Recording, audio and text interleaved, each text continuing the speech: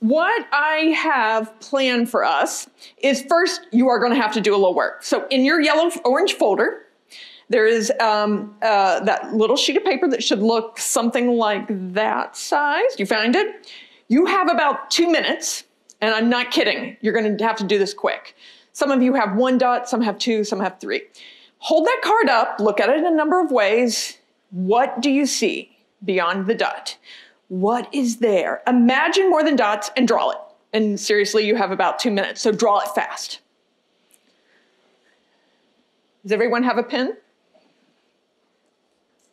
Everybody has a folder. Okay.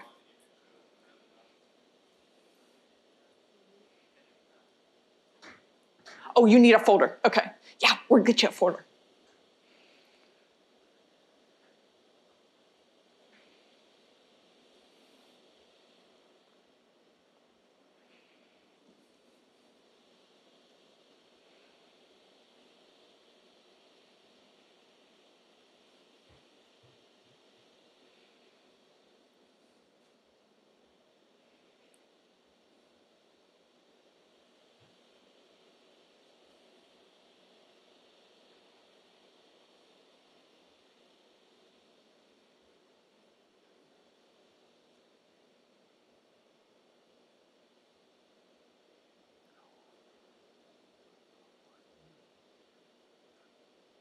No, it's totally unfair. I get the easiest job.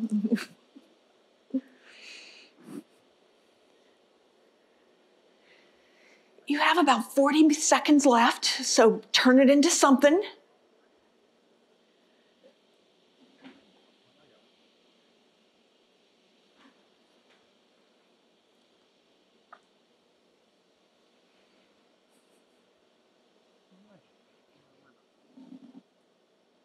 Okay. 15 more seconds.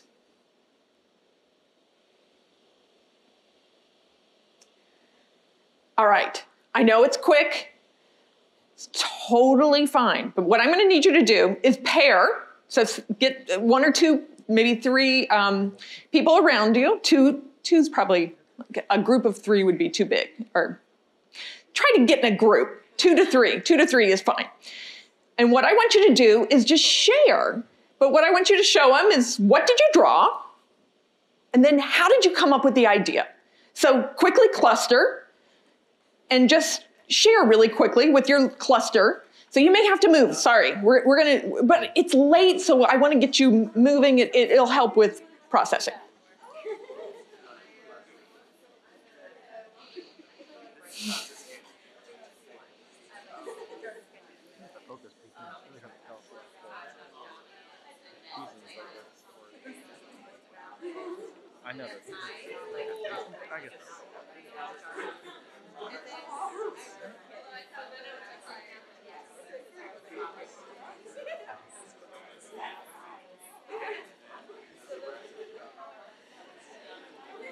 Okay, make sure both people have shared now, not just one. Um, let's make sure both have been able to quickly share.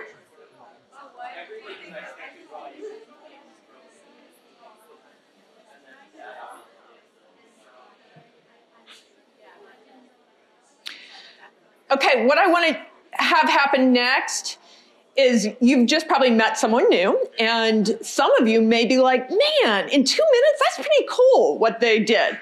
So I'd love for you to, if you had something like that happen, nominate the buddy that you had to maybe hold up their drawing and tell us a little bit about why you thought it was cool. Okay, I'm getting some pointing here. Are you nominating her? Yay, good. I, I, didn't say this would be painless, but you know. So, what did you draw? Um I drew a motorcycle running through some bugs really fast. Nice. Some splatters. Yeah. Excellent, excellent. Anybody else? Okay. Oh, you're nominating him. Excellent. It's my classroom.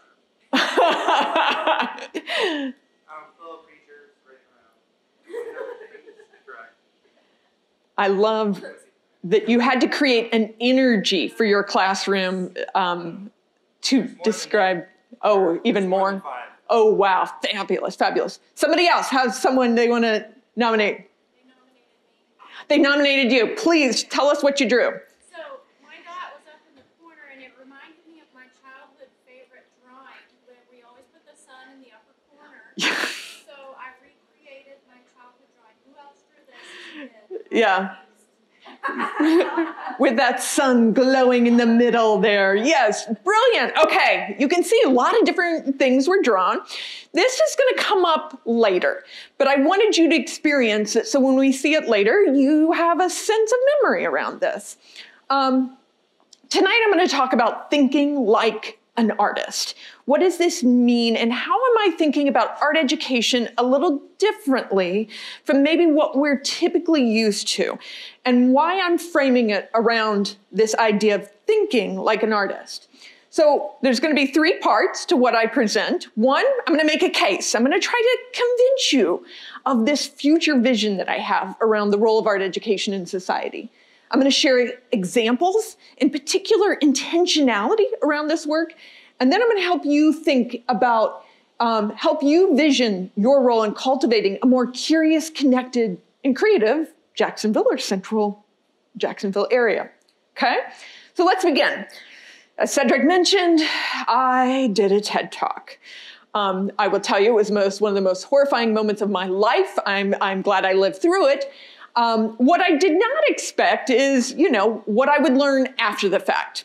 So while I did do a TED talk, tonight is really what came after that talk. In particular, what I've learned from educators and from artists and leaders about what this idea was that I was presenting. So I just wanted to frame that for you. You can go back and see the talk if you'd like, but tonight we're going to talk a little bit about what sense. But it all started off with a one pager. Have any of you ever been asked by your boss, um, like I was, Cindy, I just need a one pager? And usually that's like, oh, okay, fine, I, you know, I'll do it. I was asked years ago, about 10 years ago, to create a one pager around what was the purpose and value of arts learning in the museum I worked in. We were about to start a capital campaign, and my boss asked me, here's here's the kicker. She asked me on a like a Friday late afternoon, and I was about to leave that Saturday morning for vacation. She needed it. You know, when I got back, it's okay. Just you know, have it when you get back. So the entire drive, and I'm driving out to Provincetown, Massachusetts. Has anybody ever been to Provincetown? Oh, a couple hands. Excellent. So I'm driving out to Province, Ma- Provincetown, Massachusetts. I want to get this thing done. So, you know, quickly writing the entire time I'm writing all of the stuff I typically would have written in grad school. You know, the purpose and value of museum learning. Of course, I'd, I'd, written that. It was because art has stories to tell, and it's important for those next generations to be able to hear those stories. Or um, museums are places of value, and we need people to value them. But it felt really flat, and it felt disingenuous. You know what it felt like as I was writing? We need people to like art museums, so I have a job in the future, is what it felt like. And I think it felt that way because if you haven't been to Provincetown, the place that I was going is an artist colony. It's where for decades artists have come to work together, to think together, to have new ideas, to spar, to be creative. It's also one of the, the craziest um, um, uh, uh, places um, in the, it's fun. But I think it had a real impact on my thinking. So instead, I did not come back with a one pager. I came back with a belief that maybe the purpose and value of arts learning needed to be something different. And it needed to focus on creativity. And it was because I was thinking so much about this place where artists have been thinking and creating for decades. So I um, proposed to my boss that if we were to start this capital campaign, we needed to put some energy around creativity. That we actually needed that to be the core purpose of our work creativity. And she said, Fantastic. Um, I can get behind this. So, are we doing that? Are we actually making people creative? And over the next 18 months, I had the most difficult time of probably my work life, where we evaluated and assessed if we were really going to do that. 80% of our programs would have to go away. So, what you're hearing today is kind of the story of the shift that we made. The reason I'm maybe in this visionary space is because I presented an idea and my boss actually said, then let's do it. And I had to live up to this new idea. So, making the case, when she decided we were going to do this, she said, I don't want it to be um, just face value. I don't want us to talk about creativity, but actually not be practicing it ourselves. I also think we need to have a lot more research and evidence. Here are some of the things. Okay, so here's the museum. Um, I should kind of say, for those of you who are educators, museums are a lot like schools. We've done things that way for a very long time. We have held on to traditions that are maybe, I don't want to say asinine, but really backwards um, for a very long time. Schools and museums aren't that different because we focused, when it came to learning, we focused on content. We focused on, as you can see here, schools filling the vessels with information. Here's a photo from a museum in about 1940, the same time this photo was taken.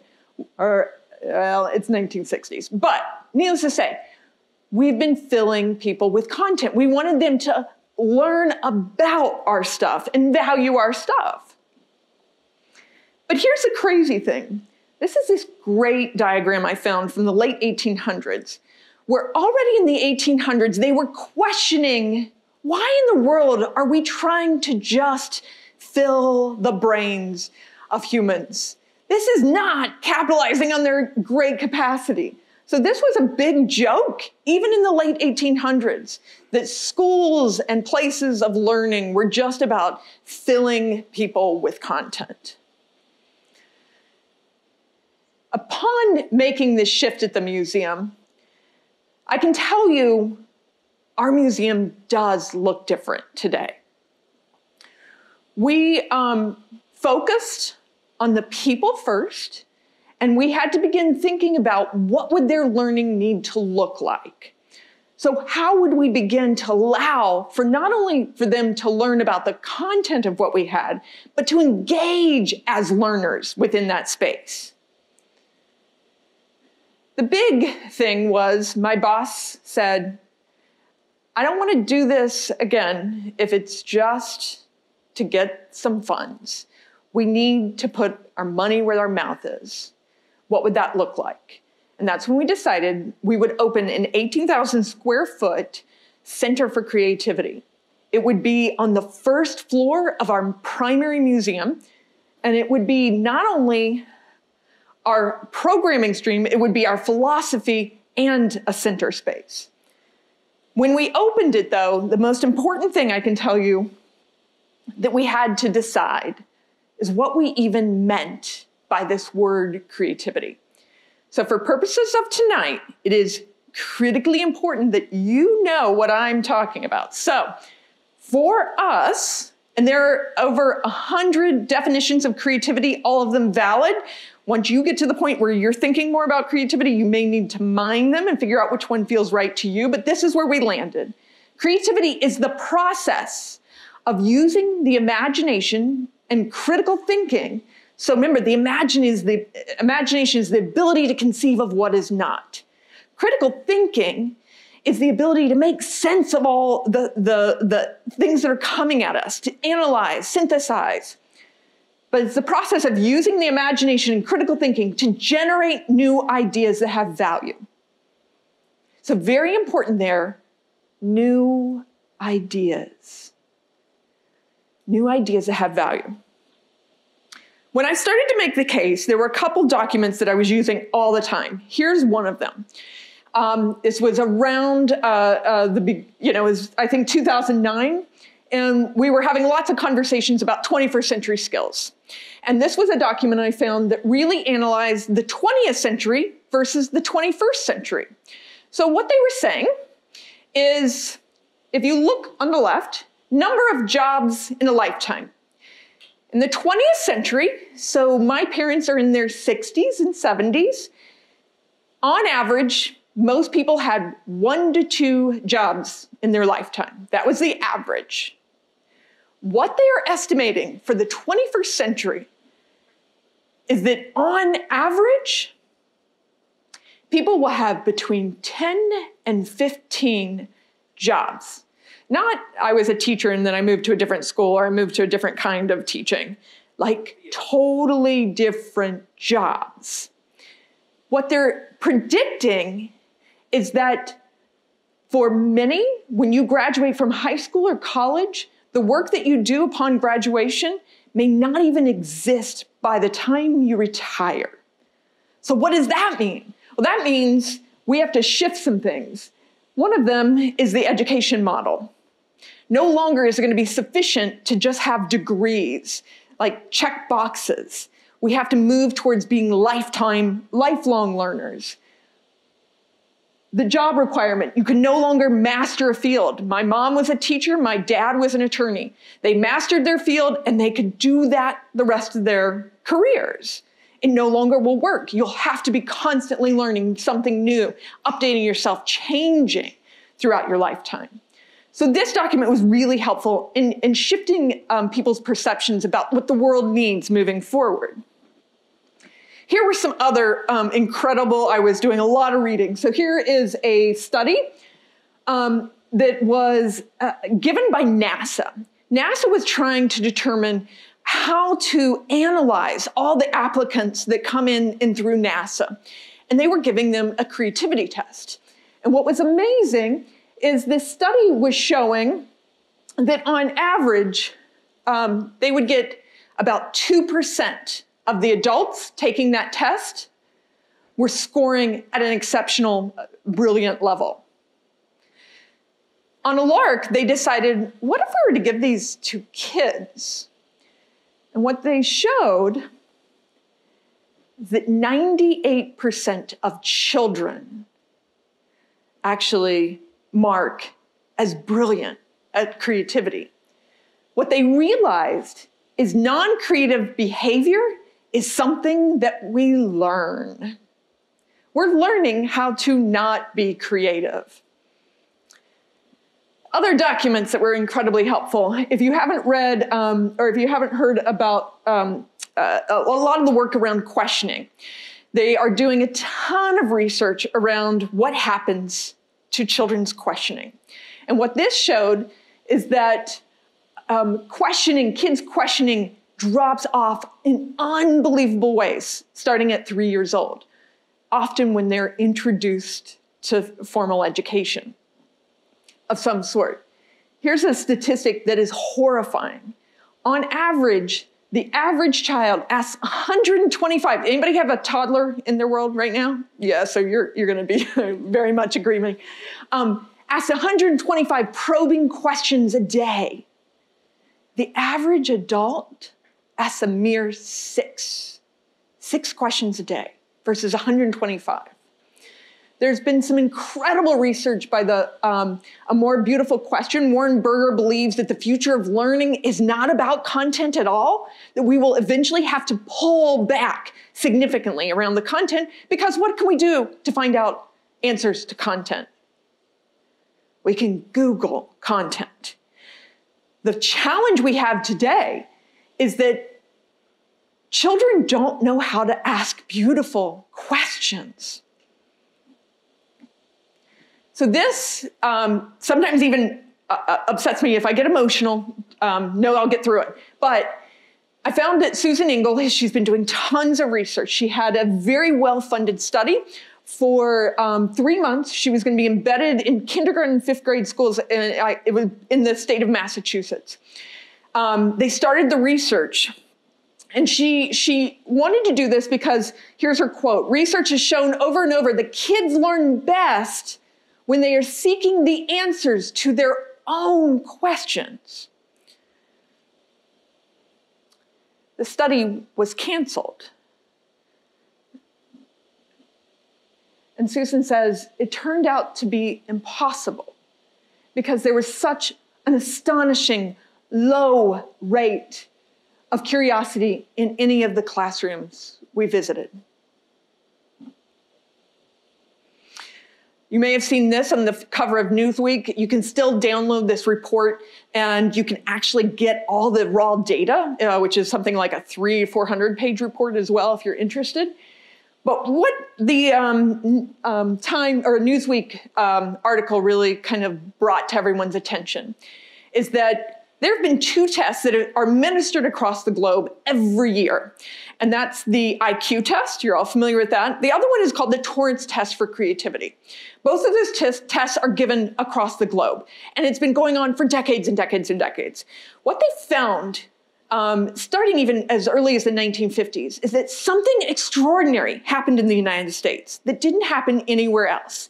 And when kids were tested on these two tests, in the United States, we bumped up here in the we we bumped up 10 points in IQ every decade and 10 points on the Torrance creativity test. And that happened decade after decade after decade. Nowhere else was it happening. In the 1970s, it became so aware that we had countries coming to try to determine how were we making these unbelievable gains. Until the 1990s. And in the 1990s, they found that IQ scores continued to rise in the United States. Creativity scores here began to plummet. Anyone in the room want to guess what could be happening in the 1990s that would cause? you can say it loud. yep, yep. Okay, so they give lots of reasons, but Yes, it was the introduction of standardized testing. And No Child Left Behind wasn't meant to be that. It was meant to level things out. It was meant to do some good things, but it had a very negative after effect. There are a lot of other factors, though, that they call on in the report. Anybody else have some ideas about what could have technology. Yep, so the introduction of, in particular, passive screen time. Screens in and of themselves, they found weren't the problem. It was the passive nature of screens, whether that was television or higher levels of technology, gaming, etc.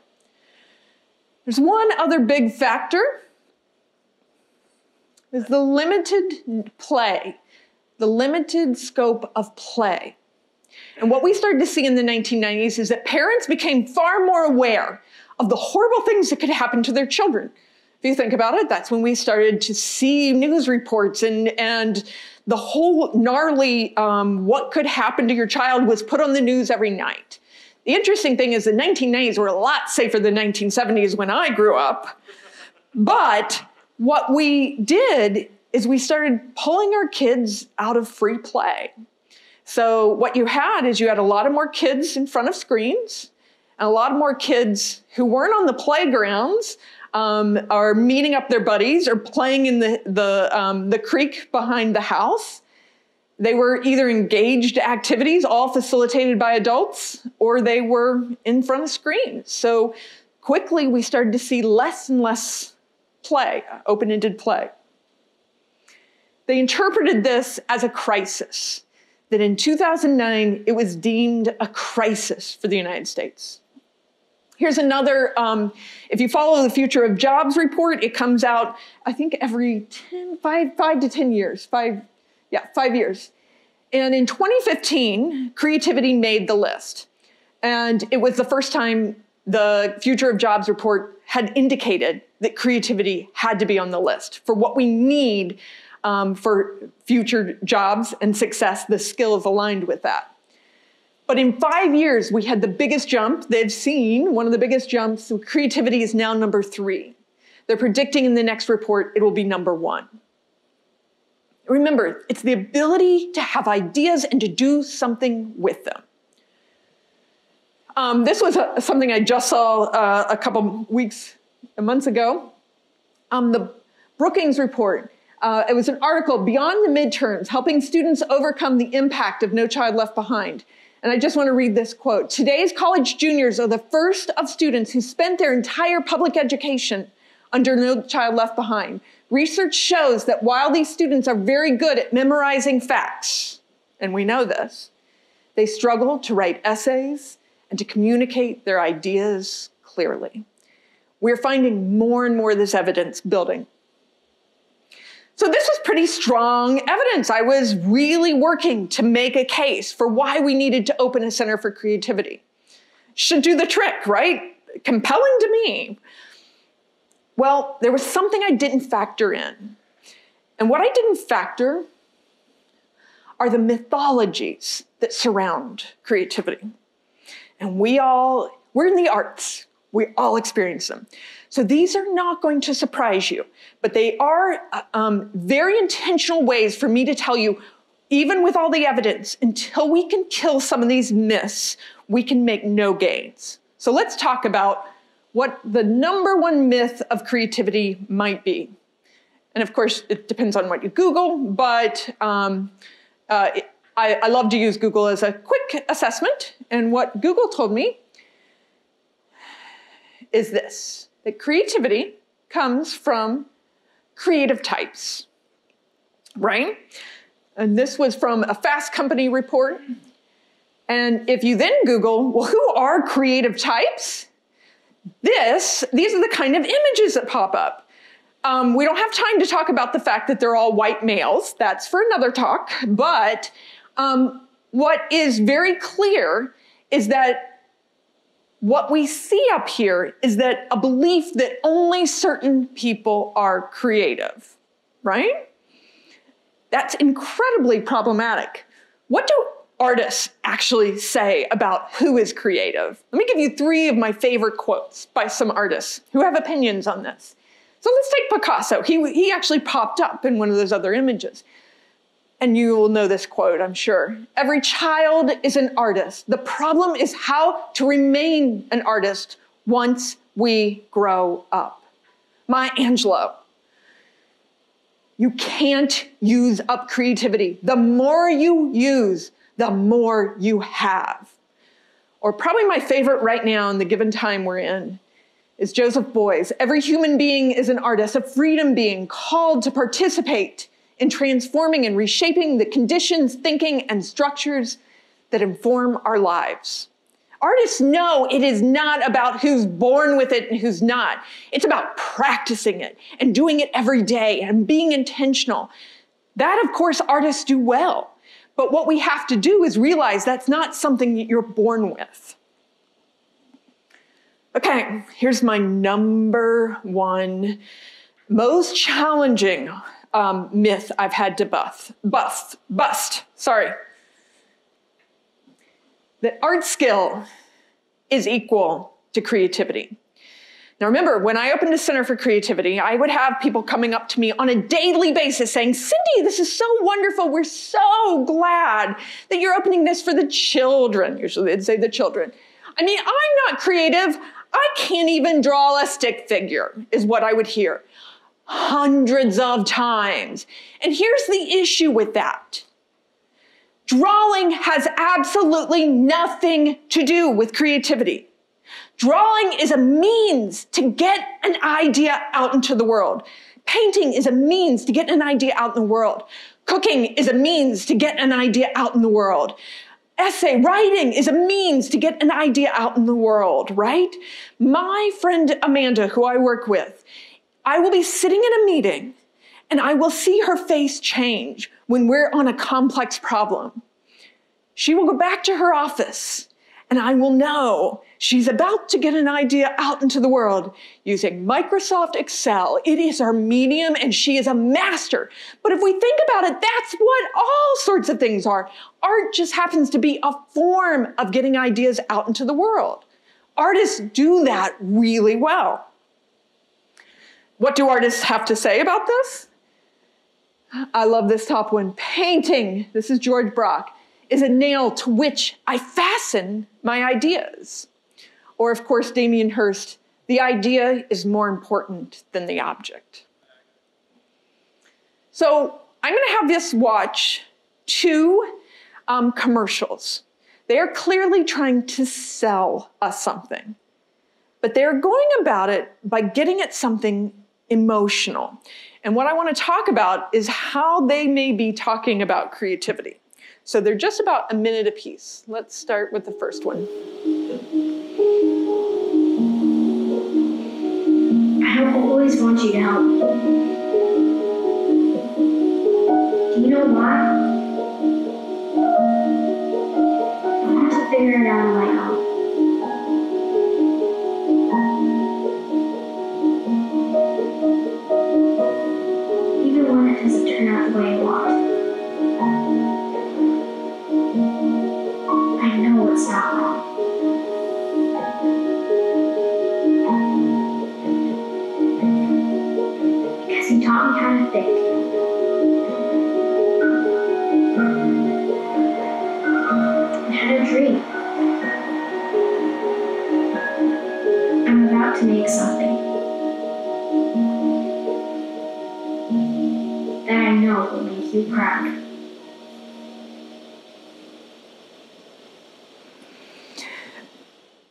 Just out of curiosity, anybody tear up um, seeing it? And no, just me. um, but why does it pull on the? What is it about that commercial that pulls on the heartstrings? Anyone want to venture a thought?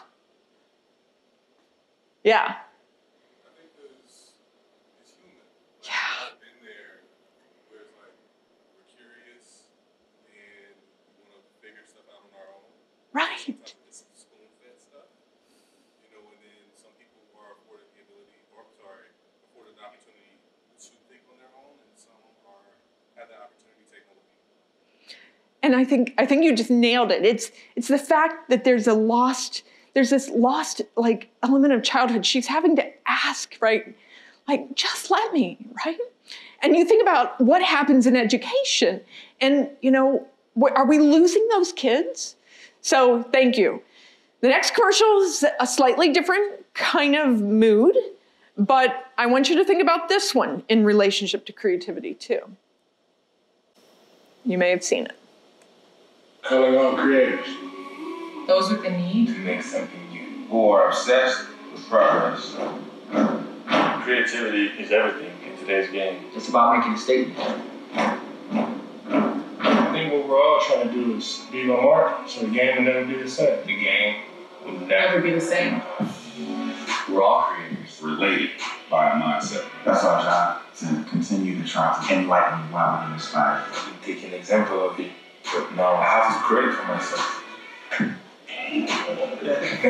Not about borders, Gender. race. I ain't trying to stay modern. I'm trying to strike while iron hot. It's all intertwined. Fashion inspires music. Art, design, and sport together. Come on, Hopkins. You know you listen to Pusha T before you hit the field. And everybody, maybe you should. Join us. Join. Pull up a chair. Let's change sport. Change lives. Let's create. Let's create. Okay, so what are they what is that commercial all about? I can, Breaking stereotypes of creativity. right. Well, and in a lot of ways what you have up here sports figures. Anybody recognize one? Yeah. You have um, uh, designers. There are uh, th- three: a graphic designer and two fashion designers, um, and musicians. And but they're all saying the same thing. What are, what are you what are they trying to kind of get us to consider? There's a common thread through all of those different sectors. Yeah, they don't want Yeah, it exists in all of them, and they don't want the world to be the same. They want to push, and that they, if they do it together, what can they produce? So, granted, they're trying to sell Adidas, um, but I think it's really interesting who's talking about creativity, and where are the where is the arts community? These are two of the most successful commercials about creativity that are trying to sell something by talking about the importance of creativity. So it's just something I don't have an answer to, but it is something we must consider. This is, I want you to think about the first section was really about making the case. Here are some takeaways I want you to think about. The evidence is clear. There is just hundreds of research reports you can Google right now that teaching for creativity isn't just a good thing, it is a necessity for the future. The societal perceptions of art and creativity are counterproductive. We've got to change those. And we've got to do it, this bottom one, the arts must own creativity. Right now, you ask a lot of people and they'll tell you, oh, STEM is where creativity is at. Right? Because the arts have not owned it in such a way. Um, and yet, you can tell from both of those commercials what's at the center of them? The arts. So, my next section is on intentionality. How do we do this then? What does it look like if we want to put creativity at the center of learning, to have a center for creativity? So I'm going to have you uh, flip your sheet of paper over, and I want you to answer these two questions for me. It may take a little bit of recall for some of us, but I need you to go back in time. And I want you to name something you were deeply curious about and on the left hand side of this paper, I want you to write between the ages of 5 and 12. On the right hand side of the paper, between the ages of 13 and 18. And by curious, I'm not just talking about passing curiosity, something you were pretty like, you checked out books, you really got into it, you would talk about it when, with people that maybe weren't as interested, but you tried to convince them of how cool it was. Think about something that you were deeply curious about. It could have been pop culture, it could have been natural world, anything. I'm only going to give you 30 seconds to recall, so.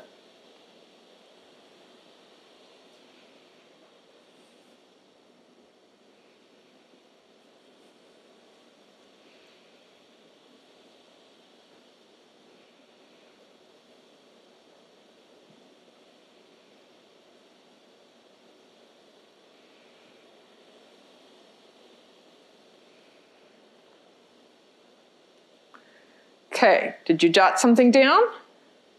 Everybody feel pretty confident? So, what I'd love for you to do is again turn to your neighbor and share one of those curiosities.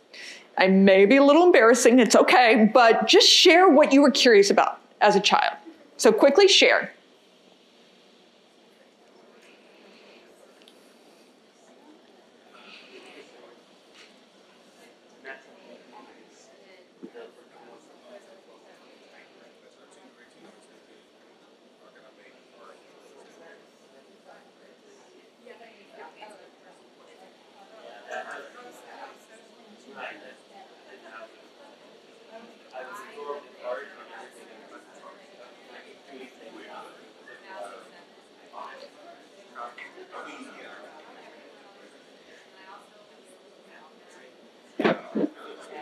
Has everyone gotten to share?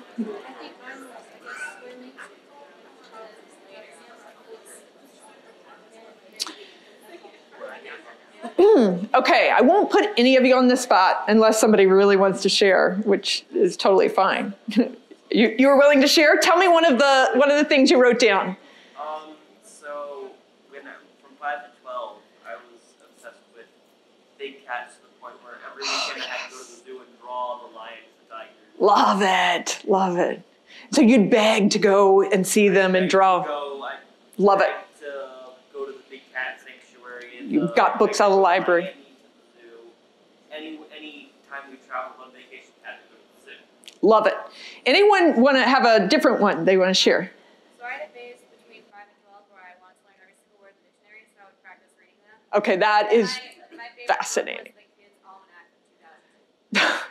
so yummy. That is excellent. It had a lot of stuff in it because I wanted to know about everything, so I memorized the, the almanac. on the I love it. Are you what? What's your career now? I'm just curious. okay, great, great. Okay, what else? How did my when I was a little kid, how did my finger move? How did your finger move? Like the whole pro. How could I think about it? And I love it. That's fabulous. Because I just be like this for hours. Like, what is wrong? All these are great. I will tell you, um, in order to do this, I, I asked my colleagues to share too. And of course, we got everything from I was curious about anthills, magic, boxcar children. It must not have been my era. I don't remember that. Um, road kills. Someone was really obsessed. Yep, I'm seeing a nod out here. Orca whale, Xena Princess Warrior, Warrior Princess. Yep, some um, fans of that. On the high school side, um, I will admit I was the uh, PETA up there, People for the Ethical Treatment of Animals. Um, my colleague, of course, much cooler than me, was into the Beastie Boys and went really deep and uh, was obsessed. Um, American Sign Language, Cats the Musical, The Existence of Vampires and Fairies, Secret Languages and Codes. Curiosity is a beautiful thing, right? The curiosity is that insatiable desire to know or understand something. I believe that are these curiosities in some way the secret to passionate creative lives? The more we have curiosities as children, does it prepare us for the lives we want to pursue as adults? And then if you think about that study where we can't even find curiosity in classrooms, how do we make that shift? How do we get back to curiosity being at the center? So, the, one of the things I'm going to share with you is these are a lot of the questions we started asking ourselves upon opening a Center for Creativity. What we immediately did is we had to decide what are we going to focus on? We had to be intentional. We looked at the artists in our collection, as well as we interviewed about, um, about 40 living artists. And we asked them a series of questions to understand how artists and creativity, what those dispositions look like. We narrowed it down to nine. And these are what we call the, the think like an artist behaviors. These are behaviors that artists particularly practice. Now I'm going to spend some time on a couple clumps of these, but I wanted you to see the whole nine that we focus on. And the important thing is if you are going to focus on creativity, you can't just generally say, I'm going to focus on creativity. It's too broad of an umbrella. You have to boil it down to something you can be really intentional about. So it might be valuing influence and collaboration that's what they were talking about in the Adidas commercial the importance of collaboration. Reflection and revis- revision. Artists are really good at seeing something and reflecting on it and changing and changing. They're not um, stricken by what to do with that. So there's a lot on this list, but there's some I'm going to focus on right now. One thing we did is we knew that if we wanted to be intentional, we had to make space for these things to happen in the museum that I work in. So for example, up here, idea generation and reflection. We realized that in our old mastery gallery, many of the work in that gallery dealt with power, artists trying to portray power. So we started giving visitors an opportunity to tell us, join the conversation, reflect on this. What does power look like in our lives today? The lack of it or having it? So we started some conversations where you had to generate ideas. Or we, we were looking at, for example, this is a gallery of um, uh, um, art, I'm missing the word right now, that deals with trick of the eye, you know, um, a lot of uh, some, yes, thank you, thank you, sorry. Yeah, so what we realized is the artists were incredibly intentional around playing with that, what we know our eyes do. So we decided, why don't we let our visitors play with the same kind of ideas? So you see they've got little boards down there with rubber bands, and they can move the lines around to try to create different kinds of patterns. We also wanted to create opportunities for imagination, collaboration. So we put up a wall that said, imagine the possibilities. We put out a stack of twist ties on the first day. And within 24 hours, it filled our walls. People responding. Someone would make a fish, someone else would make a boat, someone else would make a bigger fish about to eat the other fish. And it just would start taking over the wall. They would respond to each other, even though they were six hours apart from when one was created. Or down here, drawing with friends. Someone would start a drawing. Any of you have done Exquisite Corpse? It's not that different. And pretty soon, people are continuing these drawings. How do we provide opportunities for us to do that. Be intentional. Intentionality. So the activity you did was something we have up in our atrium at the museum. And it says, draw more than dots. And we have up on the wall big strips where you can draw and leave those behind. And it's extraordinary to see what people leave us. Incredible drawings. Some people will sit there for an hour working on something to just clip it and leave, which is fascinating because all the things you've seen me put up here, I think when we started doing this, people were like, yes, the children will love it. 60% of the people who participate in our connectors are adults. Adults need creativity too. They need the opportunity to practice these exact same skills. Children just do it much quicker, much easier.